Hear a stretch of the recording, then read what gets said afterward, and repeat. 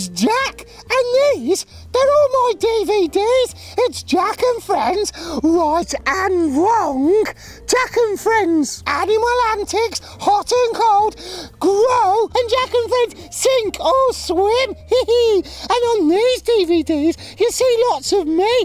We have a Bible story with Mrs. Davis. We have a documentary. That's where I go into the community and I go to see a, police station, a, a farm, a fire station, a safari park, and even go and do some life saving. Ooh!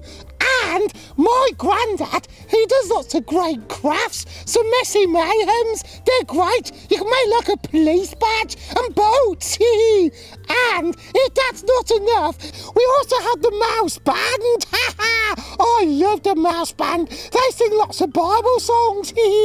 well, if you want to find out more about the Jack and Friends DVD collection, you need to go to the website. You need to get them. They're amazing.